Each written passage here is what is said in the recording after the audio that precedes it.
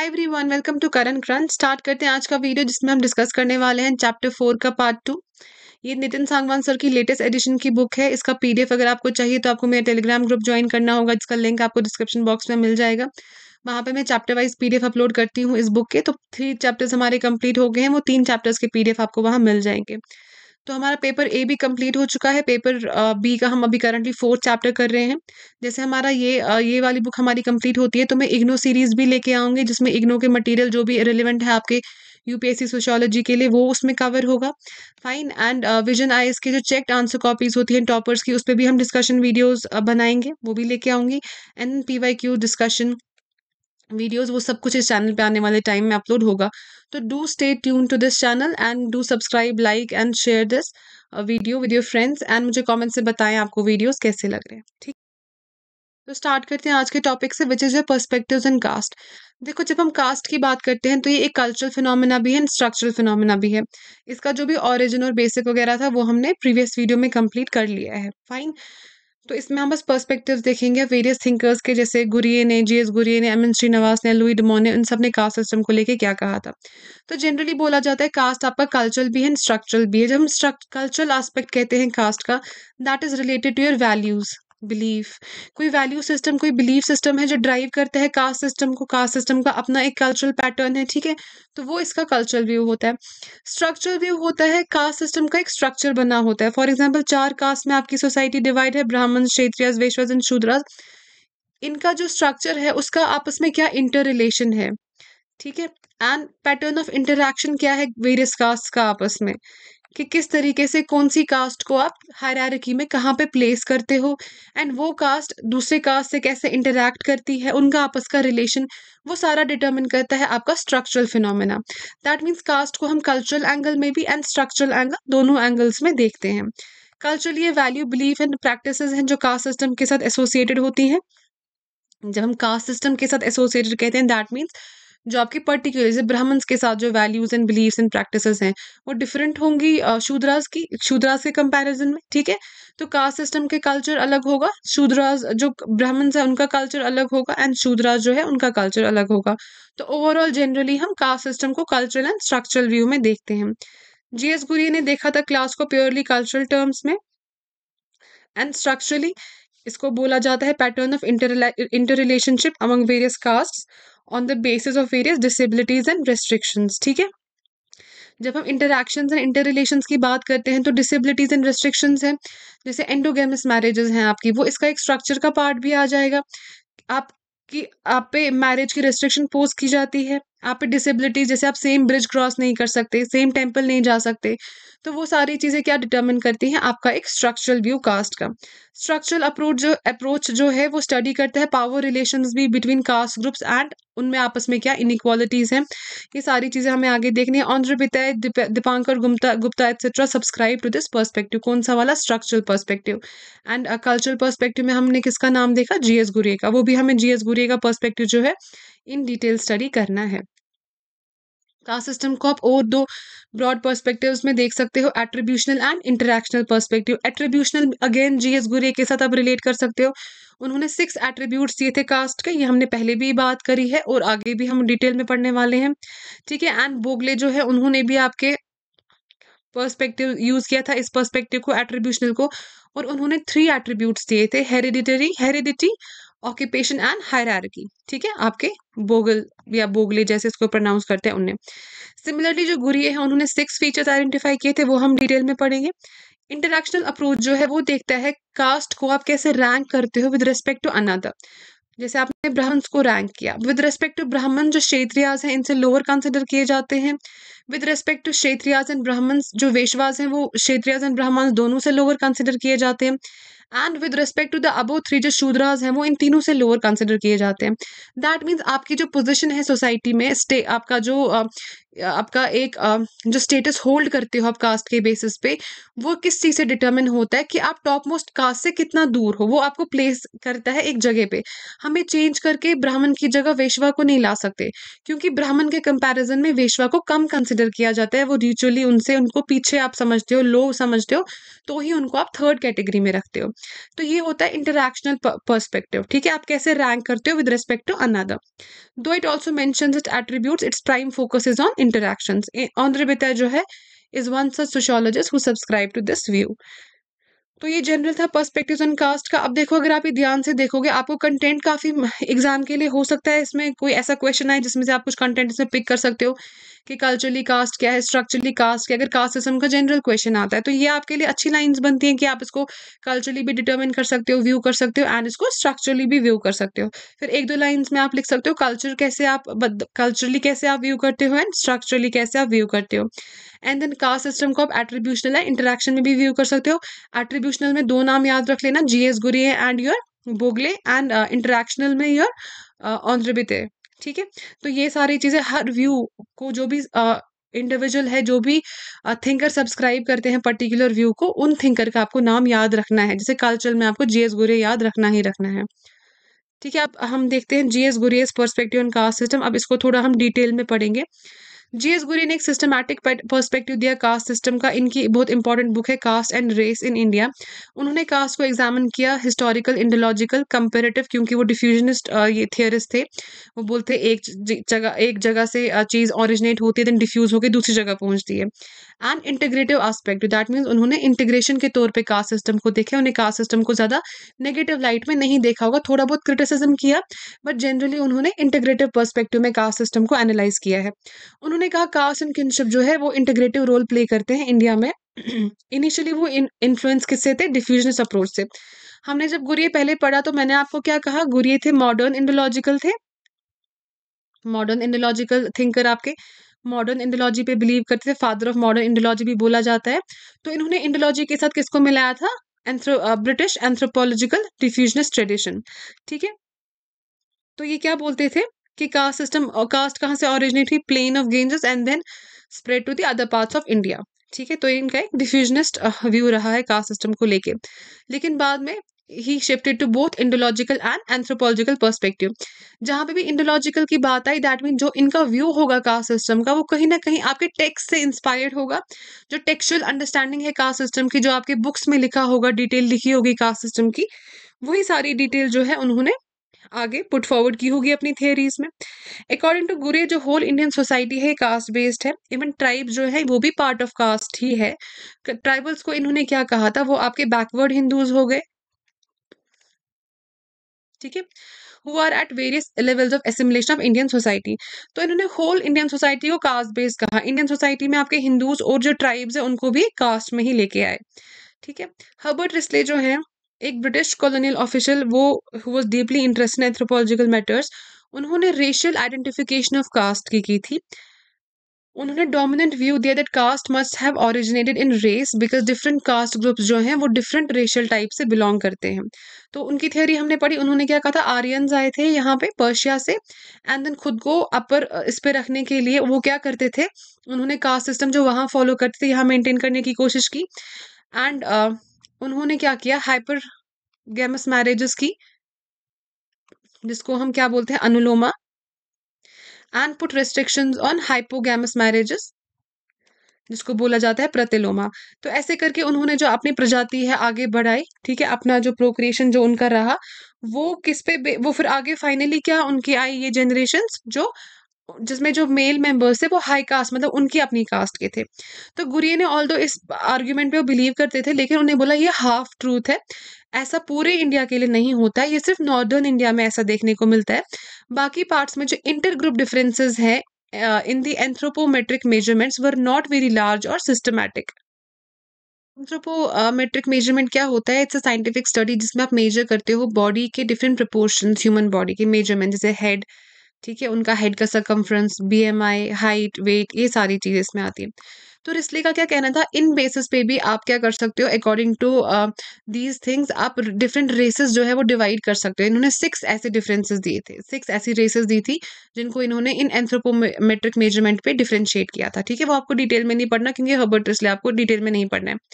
लेकिन इनका क्या माना था? गुरिये ने कहा, जो आप वो मेज़रमेंट डिफरेंस बोल रहे हो, जिसके बेसिस पे आपने रेशियल क्लासिफिकेशन दी, वो सिर्फ़ नॉर्थ के लिए हो सकता है, ठीक है? आर्यंस का वहाँ पे ज़्यादा रोल रहा है। लेकिन ऐसी इंटर ग्रुप डिफरेंसेस जो हैं, वो आपको बाकी पार्ट ऑफ़ इंडिया में देखने को नहीं मिलेंगी। तो Ghurye played a lead role in toppling the जो रेशियल थियरी थी कास्ट की propounded by the western anthropologist led anthropologist led by Risley अब थोड़ा गुरिये का देख लेते हैं। उन्होंने सिक्स एट्रीब्यूशन दिए थे कास्ट के। पहला कि it's based on the segmental division that mean जो कास्ट है is further divided into sub caste फिर जो सब कास्ट है, उनकी आगे फर्दर ग्रुपिंग है। ठीक है? जो कास्ट सोसाइटी है it is based on hierarchical division ये मैंने आपको पहले बोला था हायरारिकी क्या होता है, ये सारा हमने स्टार्टिफिकेशन में अच्छे से डिटेल में बोला डिस्कस किया हुआ है। एक हायरारिकल ऑर्डर में है दैट मीन्स कोई एक रैंक वन है तो कोई रैंक टू होगी। ठीक है? On the base of certain inequalities feed इसमें रिस्ट्रिक्शंस होती है फीडिंग एंड सोशल इंटरेक्शंस पे कि इंटरडाइन आप इकट्ठे नहीं कर सकते। इंटरडाइनिंग मींस आप इकट्ठे बैठ के खाना नहीं खा सकते हो। कच्चा फुट पक्का फ़ूड जो हमने कल पढ़ा, वो भी इसमें चीज़ें आ जाती हैं। तो उसको हम कॉमनसैलिटी बोलते हैं। रूल ऑफ़ कॉमनसैलिटी फॉलो करती है कास्ट सिस्टम कास्ट जो है it involve differential rights and duties for different caste और उन, और accordingly different civil and religious disabilities put की जाती हैं। रिलीजियस डिसेबिलिटी अगेन आपके गॉड्स अलग होते हैं, आप सेम टेम्पल्स में नहीं जा सकते। एंड सिविल डिसेबिलिटीज आप सेम वेल से पानी नहीं पी सकते, आप वो सेम ब्रिज नहीं क्रॉस करते, ऐसे सारे इश्यूज़ कास्ट जो है वो रेस्ट्रिक्ट करते हैं चॉइस ऑफ़ ऑक्यूपेशन ठीक है? अगर कोई ब्राह्मण का बेटा है, वो चाहता है कि वो ऐसा कोई काम करे जो शूद्रा जिसमें इन्वॉल्व है, पर ऐसा नहीं हो सकता। एंड या शूद्रा का बेटा है, वो चाहता है कि वो जो ब्राह्मण जैसे पंडित पुजारी हैं, वो भी कल को उनका बेटा या वो खुद पुजारी बन जाए, ऐसा भी नहीं हो सकता है। तो रेस्ट्रिक्ट करता है choice of occupation restriction on marriage क्योंकि इंडिया में क्या फॉलो होती है? Caste endogamy that means within the caste आपको शादी करनी है एंड गोत्र exogamy and outside your gotra. तो कुछ रेस्ट्रिक्शंस हैं आपकी मैरिज पे। ये आपके हो गए छह एट्रीब्यूशन कास्ट के। तो इसको हम बोलते हैं attributional view of caste system जो किसने दिया था आपके? जीएस गुरी ने। ठीक है? एंड किसने दिया था आपके? एक जीएस गुरी एंड सेकेंडली आपके बोगले ने इन्होंने क्या कहा था? Hereditary heredity occupation and hierarchy हो इन्होंने तीन एट्रीब्यूशन दिए थे। गुरिये की जो डेफिनेशन थी it help in making caste system study of caste more systematic क्योंकि इन्होंने क्या एक फ्रेमवर्क दिया छह एट्रीब्यूशन दिए, जिनके अकॉर्डिंग इन्होंने कहा कास्ट सिस्टम ये ये चीज़ होती है। तो थोड़ा क्या हो गया सिस्टमैटिक होने लगी कास्ट सिस्टम की स्टडी उन्होंने एनालाइज किया changing pattern of caste system भी और उन्होंने ये भी कहा कि कास्ट सिस्टम डिमिनिश हो जाएगा with the rise of modern education लेकिन at the same time also admitted की जो caste based political and social organisation है, वो डेवलप हो रही हैं। ठीक है? Caste as a social system will not die any time sooner क्योंकि इनके डेवलप होने से क्या हो गया, आपकी आइडेंटिटी पॉलिटिक्स स्टार्ट होगी आप कास्ट के साथ खुद को आइडेंटिफाई करते हो। जब कास्ट एसोसिएशन बनती है, आप खुद को सब्सक्राइब करते हो उस आइडियोलॉजी के साथ कि हाँ मेरी कास्ट है मैं मानता हूँ and I have been exploited over the decades and over the centuries तो मुझे इस चीज़ के बदले कोई बेनिफिट दे दो। एंड इनफैक्ट बेनिफिट्स ऐसे हैं कि लोग लड़ाई करते हैं हमारी कास्ट को भी, आप उस कैटेगरी में डाल दो शेड्यूल कास्ट कैटेगरी में डाल दो ताकि हमें भी वो सारे बेनिफिट्स गवर्नमेंट से मिल सके। तो जब ये थाट्स इमर्ज होते हैं सोसाइटी में, इसका यही मतलब है कि कास्ट जो है वो कहीं नहीं जाने वाला है, क्योंकि पहले कास्ट सिस्टम इम्पोज होता था सिर्फ़ जो टॉपर कास्ट के हैं अपर कास्ट वाले हैं, वो कास्ट आइडियोलॉजीज लाते थे, लेकिन लोअर कास्ट अब इस चीज़ को एक्सेप्ट करके अपने लिए बेनिफिट मांग रहे हैं। दैट मीन्स अब दोनों तरफ़ से कास्ट जो है वो प्रेजेंट रहना चाहिए सोसाइटी में दोनों के according according to him scramble for benefits will destroy the unity of Indian society ठीक है? अगेन वही लो कास्ट हाई कास्ट का, क्योंकि हर किसी को क्या चाहिए? बेनिफिट्स चाहिए। तो इससे एक यूनिटी जो है इंडियन सोसाइटी में वो डिवाइड डिस्ट्रॉय हो सकती है। उनकी जो कंसेप्चुअल डेफिनेशन है वो बेस्ड थी क्लासिकल टेक्स्ट पे, क्योंकि वो एक इंडोलॉजिकल व्यू को सब्सक्राइब करते थे और इंडोलॉजिस्ट माने जाते थे। इन एक्चुअल प्रैक्टिस ऐसे काफ़ी फीचर्स जो हैं they are changing though all of them continue to exist in some form और द अदर अब देखो ये जैसे चेंज हो रहा है, जैसे कॉमन सैलिटी फीडिंग या सोशल इंटरेक्शन वाली बात हो रही है, ये एक स्टडी हुई थी मुझे याद नहीं आ रहा किसने की थी। वो रिक्शा पुलर्स की स्टडी हुई थी। उन्होंने क्या देखा था? उन्होंने लखनऊ में ये स्टडी हुई थी। कहा, देखा था कि जो ये हैं, जो रिक्शा चलाते हैं, जब ये यहाँ पे रिक्शा चलाते हैं सिटी में चलाते हैं तो ये फिर सारे डिफरेंट कास्ट के लोग इकट्ठे बैठते हैं खाना वाना इकट्ठे खाते हैं। तो यहाँ पे वो रूल ऑफ़ कॉमन सैलिटी जो है, वो अप्लाई नहीं होता है। ठीक है? तो हो गया ये दैट मीन चेंज हो रहा है। लेकिन जब ये वापस अपने अपने गाँव में जाते हैं, वहाँ पे फिर से वो कास्ट सिस्टम के जो रूल्स हैं, वो ऑब्ज़र्व करते हैं। इसका यही मतलब है फीचर जो है चेंज हो रहे हैं, लेकिन अभी ना, कभी कहीं ना कहीं किसी वन फॉर्म और द अदर ये प्रेजेंट है। ये स्टडी किन्हीं ने की थी, मुझे उनका नाम नहीं याद आ रहा, कि किन्हें स्टडी करी थी। He depicted caste as an integrative force in the study society in the past but also acknowledge is disharmonious present role ये भी एक्नोलेज किया है, लेकिन ज़्यादा फोकस इन्होंने इंटीग्रेटिव फैक्टर पर ही दिया है। His critics often accuse him of over glorifying the culture of अभी उनका क्रिटिसिज्म हो गया तो इन्होंने ओवर ग्लोरीफाई किया इंडियन सोसाइटी को. इनफैक्ट इन्होंने ट्राइबल्स को भी बैकवर्ड हिंदूज बोला relying too much on text and not going for field studies आपके एम्पेरिकल स्टडीज़ जो फाइनली बाद में किसने करी थी? एम एन नवासा ने. According to Beteille his understanding of caste जो है वो कंफ्यूजिंग है क्योंकि वो चेंज करते हैं goal from indological to diffusion to comparative to outright nationalist ठीक है? तो एक जगह टिक के नहीं उन्होंने अपनी स्टडी करी। इनका जो व्यू था हिंदू सेंट्रिक व्यू था इंडियन सोसाइटी का, क्योंकि इन्होंने ट्राइब्स को भी बैकवर्ड हिंदूज बोला। Srinivas also took exception to his understanding of caste rooted in Varna system as it makes the caste system rigid and hierarchical क्योंकि उन्होंने caste system की understanding कहाँ से लाई थी text से और text कहाँ से describe करते हैं caste system जाति को आपके वर्ण system से तो उससे क्या हो जाता है caste system को एक rigid picture मिलती है ये चीज़ point out की थी एम एन श्रीनिवास ने जिसने जिसने फिर ये वर्णा जाति वाला जो concept है अपनी theory में explain किया था प्रैक्टिस में कास्ट स्ट्रक्चर जो है डायनेमिक है and so Srinivas make shift from varna view to the caste view वो कैसे वो हम इनकी स्टडी में देखेंगे despite numerous criticisms he still known for challenging the colonial notion जिन्होंने क्या कहा था आपकी इंडियन सोसाइटी क्या है ऐसा ऐसो ठीक है that is a static isolated self sufficient and orthodox He was the first to approach caste from the sociological point of view. He provided a springboard for the later, uh, later search on caste, and his disciples like Srinivasan Desai grew heavily upon him. तो कहने का क्या मतलब है? वो last में आपको answer क्या करना है? पॉजिटिव नोट पे कंक्लूड करना है। इसीलिए आप देखोगे, नितिन सर ने अपनी बुक में हर जगह जहाँ भी थिंकर्स लिखे हैं, बाद में सारी उनके क्रिटिसिज्म वगैरह देने के बाद लास्ट में एक हमेशा पॉजिटिव कंक्लूजन लिखा है। तो इन्हीं पॉजिटिव कंक्लूजन से आप क्या करोगे? अपने नोट्स से पहले ही हर थिंकर का एक पॉजिटिव कंक्लूजन जो बना के रखोगे।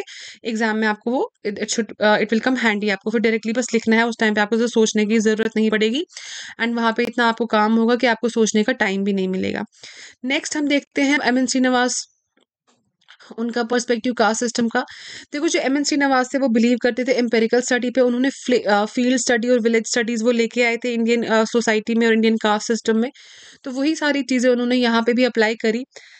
देखते हैं, उन्होंने डायनेमिज्म लाया into the otherwise static concept of caste caste को मोस्टली स्टैटिक ही कंसिडर किया जाता था, लेकिन उन्होंने हमें ऐसे नाम दिए जैसे संस्कृटाइजेशन डोमिनेंट कास्ट का कॉन्सेप्ट देखना है। वर्टिकल या horizontal solidarities vertical is intercaste and horizontal is intracaste intercaste means Brahmin Kshatriya Shudras के बीच में कैसी सॉलिडारिटी है? Intracaste means within Brahmins आपस में कैसी सॉलिडारिटी है? विद इन क्षेत्रीय आपस में कैसी सॉलिडारिटी है? ठीक है? तो इन्होंने ऐसे ऐसे कॉन्सेप्ट लाए जिन्होंने इन्होंने जिससे इन्होंने वो मिथ ब्रेक किया कि जो कास्ट सिस्टम है वो स्टैटिक है रिजिड है एंड इसमें जो मोबिलिटी है वो पॉसिबल नहीं है। वो सारी चीज़ें इन्होंने ब्रेक की अपने आइडिया से। श्रीनिवास ने क्या किया? इन्होंने फ्लूडिटी कैप्चर की कास्ट के डायनामिक एसेंस जब फ्लूडिटी की बात आती है दैट मीन्स कोई चीज़ उतनी रिजिड नहीं होगी, वो मूव करेगी। तो कास्ट सिस्टम में इन्होंने यही कहा, इन्होंने कहा कास्ट सिस्टम में जो है मोबिलिटी पॉसिबल है। और फिर वो प्रूव भी किया कि कैसे कैसे मोबिलिटी होती है। उसके लिए हमें टर्म्स भी दिए, जैसे आपका Sanskritisation through his works and concept उन्हें रिजेक्ट किया था monolithic and pan view of the India of of caste system ठीक है? एक view of the caste system को उन्हें रिजेक्ट किया, उनका था कि उनको डिफरेंट जो है आइडियोलॉजीज कास्ट सिस्टम की, वो उन्होंने प्रेजेंट की। In a seminal work religion and society among the Coorgs of south India काफ़ी इंपॉर्टेंट वर्क है इनका, ये नाम आप ज़रूर याद रखना। एग्ज़ाम में काम आएगा। He use a theoretical framework which was derive from structural functionalism of Brown उसको इन्हें कंबाइन किया मॉडर्न इंडोलॉजी से एंड फ़ील्ड व्यू से। अब इंडोलॉजी को इन्होंने भी कंसिडर किया क्योंकि अगेन आपको टेक्स से थोड़ा बहुत नॉलेज होना कास्ट सिस्टम की ज़रूरी थी। उसको उन्होंने एक फंक्शनलिस्ट पर्सपेक्टिव से स्ट्रक्चरल फंक्शनलिस्ट पर्सपेक्टिव से। दैट मीन्स कास्ट सिस्टम क्या रोल प्ले करती है as a structure to maintain the society वो वाला व्यू भी इन्होंने लिया एंड देन उसमें ऐड किया फ़ील्ड व्यू जिससे इनकी जो स्टडीज़ है काफ़ी एनरिच हो गई। He viewed caste as rooted in local hierarchy rather than the broader varna framework वो आगे भी इन्होंने डिस्कस किया मैं आगे आपको बताऊँगी। And understanding of caste as an empirical reality from the ethnographic studies that is a field studies तो इन्होंने थोड़ा वर्ण फ्रेमवर्क की बात की। उसको इन्होंने डिफ्रेंशिएट किया कास्ट से कि वरना जो है एक मैक्रो ग्रैंड कॉन्सेप्ट है, ठीक है? लेकिन जो रियलिटी आपको ऑन ग्राउंड मिलती है देखने को, वो आपकी कास्ट और जाति होती है। तो डेली लाइफ में आपको डील करना होता है कास्ट और जाति से और ना कि वर्ण फ्रेमवर्क से, ठीक है? ये हम आगे उन्होंने लाइंस लिखी हैं, ये आप अभी कंफ्यूज नहीं हो जाना। He read numerous books and essays on caste ये सारी चीज़ें आप देख लोगे। He predominantly use field studies to explain the working of the caste, but also resorted to indological sources. In fact, dimensional approach जैसे मैंने यहाँ पे कहा था मोनोलिथिक चीज़ को और पैन इंडिया व्यू को उन्होंने नेगेट किया। उन्होंने मल्टी डायमेंशनल अप्रोच यूज़ की थी। फोकस किया सिर्फ़ ना कि ट्रेडिशन पे लेकिन कास्ट को in terms of status wealth power हर जगह जो है वो हर एंगल से एनालाइज करने की कोशिश की। मोनोकॉजल अप्रोच को उन्होंने रिजेक्ट किया, जैसे कि डुमो ने यूज़ किया था, क्योंकि डुमो ने आपको सिर्फ़ कास्ट की अंडरस्टैंडिंग के लिए एक ही कॉन्सेप्ट वहाँ से निकलता है उनकी स्टडीज़ से that is the concept of purity and pollution ठीक है? डुमोन को भी हमें अलग से डिस्कस करना है। लेकिन इनका वो मोनोकॉजल अप्रोच नहीं था, उन्होंने पूरा प्योर स्ट्रक्चरल फंक्शनलिस्ट भी नहीं कहा, लेकिन इंडोलॉजिकल एंड मार्क्सिस्ट अप्रोचेस को he consider them to be too ambitious for the study of Indian society as they claim an absolute understanding absolute understanding of the Indian society कहा कि ये भी सही नहीं है कि आप प्योरली इंडोलॉजिकल या प्योरली मार्क्स अप्रोच को यूज़ करो। तो इन्होंने क्या किया? He took view of all दो स्ट्रक्चरल फ़ंक्शन परस्पेक्टिव का थोड़ा इंडोलॉजी का थोड़ा then combine it with ethnographic studies और अकॉर्डिंगली उन्होंने अपनी स्टडी जो है कास्ट सिस्टम की वो करी थी। लाइक गुरिये उनका भी एक सेगमेंट्री व्यू ऑफ़ कास्ट रहा है। दैट मीन जो कास्ट है, इसमें काफ़ी डिविजन्स एंड सब डिविजन्स आपको मिलेंगी। कास्ट के अंदर आपको सब कास्ट मिलेंगे। देन सब कास्ट को फर्दर डिवाइड किया गया है। उसके अंदर आपको और सब कास्ट मिलेंगे। तो ठीक है? तो ये व्यू ये भी होल्ड करते थे। He made a clear distinction between varna and jati और कास्ट जाति एंड कास्ट का डिफरेंस आपको क्लियर है। जाति इंडियन वर्ड एंड कास्ट जो है पोर्टुगीज टर्म से डिराइव हुआ है। Which means which is a caste that means race lineage और ब्रीड एंड सबकास्ट ठीक है? वर्ण और कास्ट एंड सबकास्ट के बीच में इन्होंने आपको डिफरेंस दिए तो यहाँ से आपको ये चीज़ याद रखनी है कि एग्ज़ाम में अगर कोई भी ऐसा क्वेश्चन आएगा जहाँ पे वरना या कास्ट रिलेटेड क्वेश्चन कुछ भी होगा तो वहाँ पे आपको श्रीनिवास ज़रूरी मेंशन करना है क्योंकि श्रीनिवास ने स्पेसिफिकली इस चीज़ के बारे में बोला है एंड इसको कॉल आउट किया है। श्रीनिवास ने कहा था, जो वरना ही एक मैक्रो थियोरटिकल स्कीमा है दैट मीन्स एक थियोरटिकल पिक्चर है। थियोरिटिकल पिक्चर जो क्या करता है, आपको एक फ्रेमवर्क बताता है कि आपको चार वर्नाज में सोसाइटी डिवाइडेड है। लेकिन ग्राउंड में अगर जब फ़ील्ड वर्क इन्होंने किया तो देखा रियलिटी में क्या होता है, लोगों को किस चीज़ के साथ डील करना होता है, वो कास्ट है। It is an all India phenomena defining reality तो जो यहाँ पे ग्रैंड एक मैक्रो फ्रेमवर्क है, जिसमें प्रैक्टिकलिटी ज़्यादा नहीं है प्रैक्टिकली जब आप देखते हो कास्ट और जाति जो है, उससे लोगों को डील करना होता है। उन्होंने कहा कास्ट सिस्टम जो है वो डायनामिक है एंड रिजेक्ट किया था varna view which considers caste system as a rigid hier hierarchical system तो वर्ण व्यू में क्या होता है? कास्ट सिस्टम आपको चार कास्ट में डिवाइड किया गया है एंड देन ये रिजिड है एंड इनके आपस में मोबिलिटी पॉसिबल नहीं है। ये वर्ण व्यू जनरेट करता है। मैंने आपको कहा ना, जब स्टार्ट हुआ था ये तो पहले ये इतना, पहले ओपन था मोबाइल था, ठीक है अर्ली वैदिक में। लेकिन लेटर वैदिक आते आते वर्ण सिस्टम आपका कैसा बन गया? रिजिड एंड हायरारिकल मोबिलिटी इसमें पॉसिबल नहीं थी, काफ़ी स्ट्रॉन्ग और आप बोल सकते इमोबाइल इंस्टीट्यूशन ये बन गया। लेकिन वो इन्होंने कहा, उससे इन्होंने रिजेक्ट किया कास्ट वो नहीं है, वो वर्ण फ्रेमवर्क आपको एक थियोरिटिकल स्कीमा देता है, एक पिक्चर देता है। लेकिन रियलिटी कास्ट सिस्टम में आती है आपको, फिर कास्ट और जाति रियलिटी आप डील करते हो, और वो जो कास्ट है, वो इतना रिजिड नहीं है, और उसमें मोबिलिटी पॉसिबिलिटी जो है वो पॉसिबल है। ठीक है, वो इन्होंने अपनी स्टडी से बाद में प्रूव करने की कोशिश की। श्रीनिवास ने इंसिस्ट किया कि जो social reality of the caste है is not varna which is the macro ideological categorization लेकिन जो जाति है सबकास्ट है that is the actual interacting group in the society ठीक है ये क्लियर हो गया अकॉर्डिंग टू हिम जो कंसंट्रेशन ऑन वर्ना है also meant stressing on the ritual factors in mutual caste ranking at the expense of economical and political factors ये चीज़ आपको समझ में आएगी अभी ये लाइन जब हम आगे देखेंगे उन्होंने जब मोबिलिटी की बात की तो उन्होंने दो हायरार्कीज बताई हमें कास्ट सिस्टम की वो हम आगे देखेंगे then we'll come back to this line while he emphasized upon the ethnographic view of caste, which is your field view, ठीक है? ही ऑल्सो एक्नॉलेज कि जो each caste and sub caste caste है, उनके कुछ कॉमन एट्रीब्यूट्स भी हैं like hierarchy occupational differentiation restrictions purity pollution based relations इस चीज़ को भी उन्होंने एक्नोलेज किया कहीं ना कहीं हायरार्की उन्होंने का कोर ऑफ़ द कास्ट है। And caste structure is guided by two hier hierarchies ठीक है? दो हायरार्कीज होती हैं कास्ट सिस्टम में। एक आपकी रिचुअल हायर हायरार्की है एंड एक आपकी सेक्युलर हायरार्की है। रिचुअल हायर हायरार्की किससे, क्या होता है? दैट मीन्स आपके जो वैल्यूज़ होते हैं बिलीफ कास्ट सिस्टम में ट्रेडिशंस तो उन चीज़ों पे ये आपका डिवीज़न होता है। सेकेंडली आपकी सेक्युलर हायरार्की होती है कास्ट सिस्टम में, जैसे पावर आ गया, जो सेक्युलर चीज़ें हैं वेल्थ आ गया ठीक है? एंड आपका एजुकेशन वगैरह आ गया। तो उन्होंने कहा मोबिलिटी पॉसिबल है, कैसे? अगर आप अपनी सेक्युलर चीज़ें जो हैं, उनमें थोड़ा सुधार बेटर करोगे उनको। पावर आप जो है, वो अटेन करोगे। वेल्थ आपके पास होगी हाईली एजुकेटेड आप होगे तो आपकी सेक्युलर जो है मोबिलिटी हो जाएगी। सेक्युलरली आप इंक्रीज हो जाओगे। एंड अगर आप वो अचीव करते हो कि आप सेक्युलर हायरार्किकल के हायरार्की के अकॉर्डिंग अपनी पोजिशन को बढ़ाते हो तो अकॉर्डिंगली आपकी रिचुअल हायरार्की में भी इंक्रीज आ जाएगा। तो रिचुअली भी आप मोबिलिटी जो है, वो अपनी कर पाओगे। पहले सेक्युलर सेक्युलर अगर आप करोगे तो रिचुअली भी आप अचीव कर सकोगे। सेक्युलर कैसे अचीव करोगे? पावर बढ़ा के, अपना वेल्थ बढ़ा के एंड अपना जो एजुकेशन वगैरह है, उसको बेटर करके। यही वो मतलब हुआ कॉन्सेंट्रेशन ऑफ़ वर्ण अगर हम वर्ण पे ज़्यादा फोकस करेंगे, इसका मतलब होगा कि हम सिर्फ़ रिचुअल फैक्टर्स पे कर रहे हैं फोकस कि रिचुअली कास्ट का ये है ट्रेडिशन वैल्यू बिलीव्स है, ठीक है? और इनको आप चेंज नहीं कर सकते। लेकिन हम इसमें क्या चीज़ मिस आउट कर रहे हैं? इकोनॉमिक एंड पॉलिटिकल फैक्टर्स जो सेक्युलर एस्पेक्ट है कास्ट का सेक्युलर एस्पेक्ट हम मिस करेंगे अगर हम सिर्फ़ वरना पे ध्यान देंगे, ठीक है? लेकिन हमें क्या करना है? हमें समझना है कास्ट की में दो टाइप की हायरार्कीज आपको मिलेंगी रिचुअल भी मिलेंगी एंड सेक्युलर भी मिलेंगी।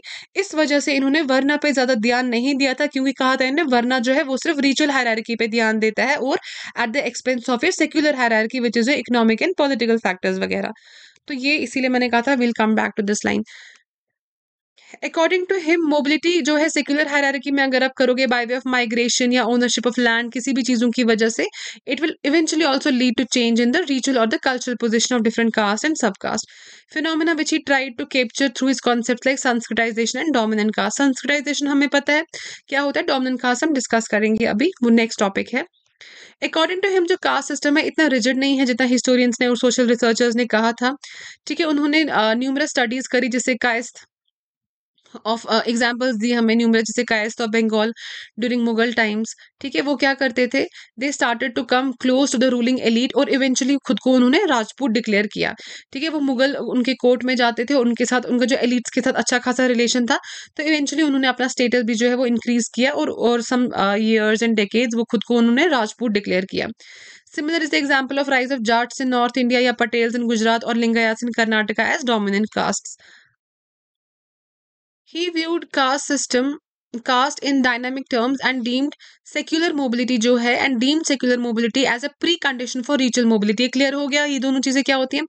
अकॉर्डिंग टू हिम जो कास्ट मोबिलिटी है इज़ एसेंशियल ग्रुप मोबिलिटी क्योंकि ये लीड करती है upliftment of the whole group in the local hierarchy for long he believe की जो कास्ट सिस्टम है will remain an important dimension of the Indian society और जो इनकी लास्ट स्पीच रही है obituary on caste as a system उनने acknowledge किया कि caste will ultimately fade away he attributed it to largely largely to disappearance of caste based division of labour अब नहीं होती है and delinking of the production from jati. ठीक है? कि अब आप जो भी आपकी सेटिंग uh, जो जिसमें आप काम करते हो फैक्ट्री सेटिंग्स में जो भी आप प्रोड्यूस करते हो वो उसका आपके साथ जाति के साथ कोई रिलेशन नहीं होता है। वहाँ पे सारे कास्ट इकट्ठे बैठ के काम कर रहे होते हैं मॉडर्न सेटिंग्स में।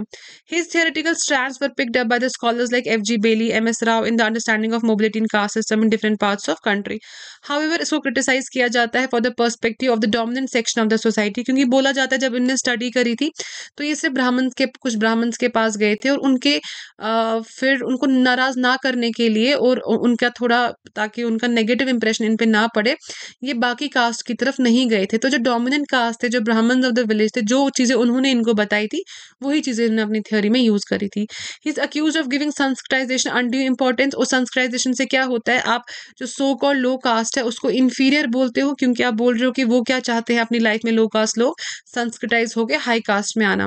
दैट मीन स्टेटस को मेंटेन करने में कहीं ना कहीं इनकी थियरीज का भी हाथ रहा है through the process of Sanskritization इन्होंने स्टेटस को को क्या किया? मेंटेन रखा। Other argue that sensitization was not only a new concept and just a cosmetic makeover of the universal phenomena of reference group behavior. Reference group behavior Merton का concept ये हमने पढ़ा था। ठीक है? कि आप दूसरे ग्रुप को क्या करते हो? रेफरेंस पॉइंट रेफरेंस मान के आप उसकी तरह बिहेव करना शुरू हो जाते हो। एंड आपकी क्या हो जाती है? आपकी एंटिसिपेटरी सोशलाइजेशन करने की कोशिश करते हो खुद को। और उस ग्रुप के अकॉर्डिंग आप खुद को सोशलाइज कर देते हो, उस ग्रुप के जो rules regulation dos and don'ts हैं, वो खुद में इम्बाइब करते हो। तो लोगों ने कहा संस्कृताइजेशन बेसिकली क्या है? कुछ नहीं है मेक ओवर ऑफ़ उनका रेफरेंस ग्रुप बिहेवियर का मेक ओवर ही है एंड नथिंग ठीक है? तो यहाँ से आपको पॉइंट्स मिल जाएँगे इनकी मोबिलिटी में, आप याद रखना कल्चरल मोबिलिटी सेक्युलर मोबिलिटी वर्ण और जाति का जो इनका डिफरेंस रहा है, वो भी एंड इनके इंपॉर्टेंट कॉन्सेप्ट जैसे संस्कृताइजेशन एंड डोमिनेंट कास्ट वगैरह। वो डोमिनेंट कास्ट हम अभी देखेंगे। आगे देखते हैं इनका dominant caste concept of dominant caste जो है, पहली बार इन्होंने दिया था, पहली बार सोशोलॉजिकल लिटरेचर में दिया था एम एन श्रीनिवास ने अपने ऐसे में social system of a Mysore village ठीक है? जिसको इन्होंने कहा था village Rampura in his paper entitle the dominant caste in Rampura इन्होंने विलेज सॉरी मैसूर विलेज में क्या देखा था? कि जो पेजन कास्ट है ओकलिंगा या इनको वोकलिंगा भी बोला जाता है compose nearly compose of nearly half of the population that means उनकी पॉपुलेशन ज़्यादा थी। तो न्यूमेरिकल स्ट्रेंथ उसके पास ज़्यादा थी, उस कास्ट के पास। And they were also the biggest land owners ठीक है? ऑल दो वो पेजेंट कास्ट थी but they were the biggest land owners वहाँ पे। तो उसके लिए उन्होंने यूज़ उसके लिए उन्होंने बोला था कि ये जो कास्ट थी, वहाँ पे डोमिनेंट मानी जाती थी, ठीक है? तो land owners that mean economically वो पावरफुल थे एंड उनके पास न्यूमेरिकल स्ट्रेंथ थी। Key words and key terms जो उन्होंने डिस्क्राइब किए थे डोमिनेंट कास्ट के साथ जो उन्होंने एट्रीब्यूट करे थे। The term dominant caste is use to refer to a caste which wields economic और political power and occupies a fairly high position in the local caste hierarchy तो वो वाली कास्ट जो ले लेती है economic power and political power होता है उसके पास एंड दस ऑक्यूपाइज एक high position local caste hierarchy में।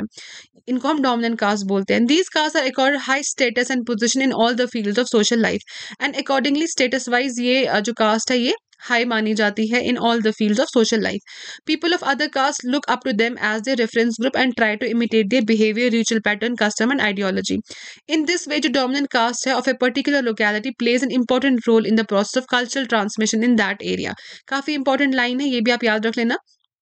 क्योंकि उनका काफ़ी हाई स्टेटस पोजीशन होता है, ठीक है, अपने इसमें सोसाइटी में। तो लोग उनको एज रेफरेंस ग्रुप मानते हैं और उनको इमिटेट करने की कोशिश करते हैं, उनके रिचुअल्स पैटर्न उनका कल्चर वगैरह। तो जब अब एक ग्रुप दूसरे ग्रुप के कल्चर को, उनके रिचुअल्स को पैटर्न को लाइफ को इमिटेट करेगा तो क्या हो रहा है? यहाँ पे कल्चर ट्रांसमिशन हो रही है।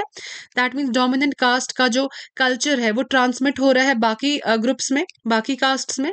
तो वो किस चीज़ से होता है? सारा इस कॉन्सेप्ट से जिसको हम डोमिनेंट कास्ट बोलते हैं। उन्होंने डोमिनेंट कास्ट के इमरजेंस के कुछ फैक्टर्स दिए। पहला इकोनॉमिक एंड पॉलिटिकल फैक्टर्स जैसे लैंडेड एलिट है नॉर्दर्न स्टेट लाइक पंजाब में वो ज़्यादा पावरफुल है then Brahmin due to their better economic status अब देखो, अगर आप एक कास्ट सिस्टम देखोगे नॉर्थ वर्सेज साउथ में नॉर्थ में जो, जैसे पंजाब की एग्ज़ाम्पल लिया पंजाब के जो काफ़ी रिच क्लास है, वो वो है जिनके पास काफ़ी लैंड्स हैं। वो ब्राह्मण से ज़्यादा पावरफुल वहाँ माने जाते हैं। तो वहाँ पे वो डोमिनेंट कास्ट है, जो वहाँ के एग्रीकल्चर कम्युनिटी की कास्ट है पंजाब में, ठीक है? लैंडेड एलिट्स उनको बोलते हैं। अब आप साउथ की तरफ़ आओ। साउथ में जो ब्राह्मण्स हैं, वो ज़्यादा पावरफुल माने जाते हैं, क्योंकि एज कंपेयर टू नॉर्थ जो साउथ के ब्राह्मण्स हैं दे आर मोर रिच तो यहाँ पे डोमिनेंट कास्ट वाला फैक्टर आएगा, ना कि आपका वो रिचुअल हायरार्की वाला. क्योंकि रिचुअली तो ब्राह्मण, चाहे वो नॉर्थ का हो या साउथ का हो रिचुअली वो हाई टॉप पोजिशन पे आता है. लेकिन नॉर्थ में ब्राह्मण्स का उतनी, उतना पावरफुल नहीं है एज कंपेयर टू साउथ क्योंकि नॉर्थ के जो ब्राह्मण्स है, वो उतने रिच नहीं है as compare to the Brahmins of south तो यहाँ पे डिफरेंस आ जाती है.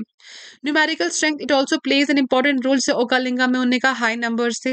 तो apart from economic condition numbers also matter कि आप इकोनॉमिकली भी साउंड हो, आपके पास लैंड वगैरह भी है एंड देन आपके पास न्यूमेरिकल स्ट्रेंथ भी है।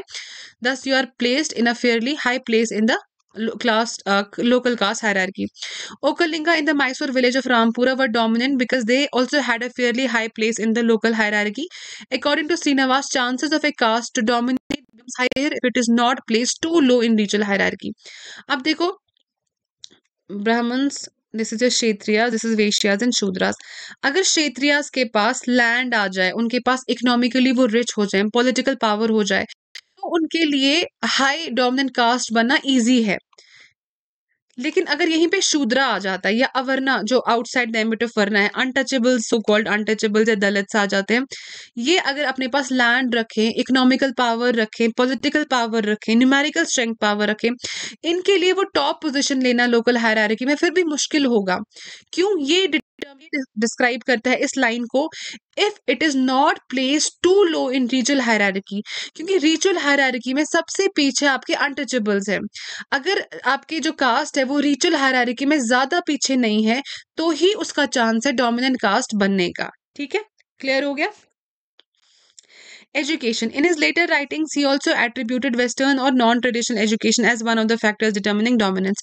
तो किन चीज़ों की वजह से dominance जो है ये dominating caste बनते हैं पहला हो गया उनके पास political economic factor they wield economic political power numerical strength होती है they are placed they have a fairly fairly high place in the local caste hierarchy. That means local caste hierarchy में ritually उतना पीछे नहीं है। जहाँ वोकालिंगा या ओकालिंगा की बात भी हो रही थी, वो रिचुअल हायरार्की में इतना पीछे नहीं है। दैट मीन्स रिचुअली में कहीं आप मिडिल में होने चाहिए तो ही आप काफ़ी ज़्यादा डोमिनेंट कास्ट बन सकते हो उस सोसाइटी की। लेकिन आप रिचुअली अगर ज़्यादा पीछे हो तो आपके लिए डोमिनेंट कास्ट बनना उतना ही मुश्किल या नेक्स्ट इम्पॉसिबल हो जाता है। एंड देन मॉडर्न एजुकेशन हासिल करना भी एक फैक्टर बनता है, जो आपको डोमिनेंट कास्ट बनने में हेल्प करता है। Concept of dominant caste is important in caste related studies क्योंकि इंपॉर्टेंस देता है पॉलिटिको इकोनॉमिक फैक्टर्स को apart from the cultural factors तो अगर आपके एग्ज़ाम में ऐसा क्वेश्चन आता है डायरेक्टली डोमिनेंट कास्ट मेंशन नहीं होगा, लेकिन को रिलेट चलो कल्चर से तो किया होगा, कहीं ना कहीं कास्ट सिस्टम में पॉलिटिको इकोनॉमिक फैक्टर्स ये सारी बातें या कहीं न्यूमेरिकल स्ट्रेंथ ऐसा कुछ लिखा होगा तो आपको क्लिक करना चाहिए। यहाँ पे आपको डोमिनेंट का ज़रूरी मेंशन करना है। एग्ज़ाम में कभी क्या होता है? एग्जामिनर आपसे चाहता है कि आप वो वाला टर्म लेके आओ जो टर्म किसी एक थिंकर ने दिया है। तो क्वेश्चन के फॉर्मेट में आपको बस एक स्टेटमेंट प्रेजेंट करता है। पर उस स्टेटमेंट से आपको वो टर्म ढूँढने की कोशिश करनी है और वो आप तभी कर पाओगे जब आप साथ साथ ये चीज़ें समझोगे नोट्स बनाओगे और इनको रिपीटेडली रिवाइज करोगे।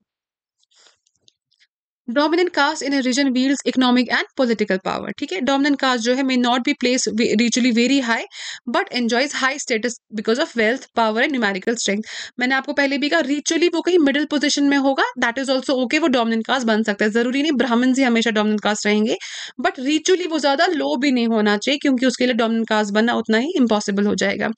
Presence of educated person and high occupation rate also plays an important role education modern education वगैरह।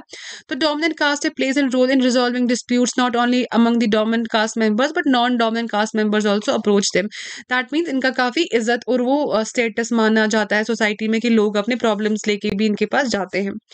जो कॉन्सेप्ट है डोमिनेंट कास्ट का ये आज भी रेलिवेंट है because study of dominant caste जो है it is necessary to understand power equation on a village society क्योंकि जब आप विलेज सोसाइटी में पावर इक्वेशन देखोगे तो आप ये नहीं देख देखोगे जो एक ब्राह्मण है, सिर्फ़ वही पावरफुल है। ठीक है पॉलिटिकली पावर किसी कोई कास्ट जो है वो पॉलिटिकली उसके पास पावर अच्छा खासा है पॉलिटिकल पावर उसने वील किया है। तो उस कास्ट का जो है इक्वलेंस आप ब्राह्मण्स के साथ देखोगे, उसका उतना ही बोलबाला होगा उस सोसाइटी में, जिसने जितना पॉलिटिकल पावर है अटेन किया होगा। ये एक्सप्लेन करता है rural society in more pragmatic terms को एज कंपेयर टू इंडोलॉजिकल और मार्क्सिस अप्रोचेस क्योंकि इंडोलॉजिकल तो वही हो गए ना, हर किसी ने अपना मतलब पूरा करने के लिए बुक से वही चीज़ें पढ़ी, जो उनके इसको उनके नरेटिव को जो ये करता जस्टिफाई करता था। ब्रिटिशर्स क्या नरेटिव स्प्रेड करते थे सीसो है इंडिया एंड आपके जो जैसे नेशनलिस्ट जिनको बोला जाता है गुरिये वगैरह, वो ओवर हारमोनियस पिक्चर जो है वो देना चाहते थे. तो उन्होंने टेक्स से सिर्फ़ वही अंडरस्टैंडिंग ली. और कार्ल मार्क्स अपना नरेटिव इकोनॉमी वाला इकोनॉमिक डिटर्मिनिज्म वाला वो जस्टिफाई करना चाहते थे तो उन्होंने उसी लेंस से इसको देखा. ठीक है? लेकिन जैसे आपको इमन श्रीनिवास ने दिया, उन्होंने आपको डिफरेंट चीज़ें दी डिफरेंट आइडियोलॉजीज और डिफरेंट टर्म्स दिए, जिससे आपको थोड़ा मल्टी डायमेंशनल और प्रेगमेटिक व्यू लॉजिकल व्यू मिला इंडियन सोसाइटी का. श्रीनिवास ने कहा कॉन्सेप्ट सेंट्रल है to understand all aspects of village society, including sanskritization, settlement of disputes, hierarchy in multicast villages, patronage power, etc. ठीक है? ये जो कॉन्सेप्ट है अच्छा the concept has some other influences as well जो Brahmin are ritually at the top may not be the dominant caste always जैसे मैंने कहा। This concept is a relative one one caste dominate in one context and geography may not be so in another context thus the concept of dominant caste is a multi dimensional concept आपको dominant caste में भी काफ़ी dimension देखने को मिलेंगे। जैसे पहली बात रीचुअली ज़्यादा आगे हो तो रीचुअली ज़्यादा पीछे हो तो आप उतना आगे नहीं जा सकते हो। ये इसका एक डायमेंशन है। एंड देन अगर आप डोमिनेंट कास्ट एक जगह हो, ज़रूरी नहीं आप डोमिनेंट कास्ट दूसरी जगह भी होगे। अभी मैंने आपको एग्जांपल दी नॉर्थ और साउथ की। जैसे नॉर्थ में है ब्राह्मण्स डोमिनेंट नहीं है, वहाँ पे आप अगर पंजाब की बात लोगे तो लैंडेड एलिट्स जो है वो ज़्यादा डोमिनेंट है, जिनके पास ज़्यादा वेल्थ है नॉर्थ में वो ज़्यादा डोमिनेंट है। लेकिन साउथ के कॉन्टेक्स्ट में अगर आप देखोगे तो साउथ के जो ब्राह्मण्स हैं वो ज़्यादा डोमिनेंट है क्योंकि वो apart from being ritually superior उनके पास वेल्थ भी काफ़ी ज़्यादा है एज कंपेयर टू नॉर्थ के ब्राह्मण्स। तो इस वजह से क्या हो जाता है, आप बोलते हो कि कॉन्टेक्स्ट के साथ डिफरेंट डिफर करता है डोमिनेंट कास्ट ये कॉन्टेक्चुअल है। ये जोग्राफी और कॉन्टेक्स्ट के हिसाब से चेंज होता रहता है। Concept of dominant caste explain the rural dynamics beyond a cultural perspective के बियॉन्ड भी आपको एक रूरल डायनामिक देखने को मिला डोमिन कास्ट से। But it is also criticise on various ground ने कहा कि जो श्रीनिवास का कंक्लूजन था according to him there can be alternate scenarios as well for example एक न्यूमेरिकली स्ट्रॉन्ग कास्ट है मे बी हिस्टोरिकली डिप्रेस जैसे आपके सो कॉल्ड दलित्स हैं। They form the majority of the population but they are historically depressed तो historically इतने depressed हैं तो वो आगे कैसे चढ़ेंगे उस लेडर पे? ठीक है? क्लास में also hold most of the land हो सकता है लैंड उनके पास हो जो न्यूमेरिकली वीकर भी हो। According to Dumont and Dumont and Pocock Srinivas use the analogy of dominant caste from African society and his definition gives importance to population which alone may not be the deciding factor for dominance इन्होंने population पे काफ़ी ज़्यादा focus किया, लेकिन ऐसा ज़रूरी क्योंकि rule few जो लोग हैं, वो भी रूल कर सकते हैं, वो भी डोमिनेट करते हैं और डोमिनेंट बन जाते हैं। तो ये लोन डिसाइडिंग फैक्टर नहीं हो सकता है। उन्होंने अपना जो इन्फ्लुएंस है, वो ड्रॉ किया था अफ्रीकन सोसाइटी में और फिट नहीं होता इंडियन सोसाइटी के लिए। तो ये डुमो एंड डेविड पुकॉक का मानना था। According to A C Dube it is not the caste as a whole but there are some dominant individual जो प्रिवेल करते हैं इन लोकल सोसाइटी इकोसिस्टम में। तो आप डोमिनेंट कास्ट नहीं बोल सकते। हमें इसकी जगह दुबे ने क्या कहा था? डोमिनेंट इंडिविजुअल्स होते हैं। तो ये सारी चीज़ें भी इंपॉर्टेंट है। इन पे फोकस करो। एग्ज़ाम में लिख के आना कि ऐसी दुबे इंडिविजुअल्स कहा था and not your dominant caste तो ये सारी चीज़ें काफ़ी हेल्पफुल होती हैं। एग्जामिनर को ये बताने में कि आपने डीपली इसको स्टडी किया है।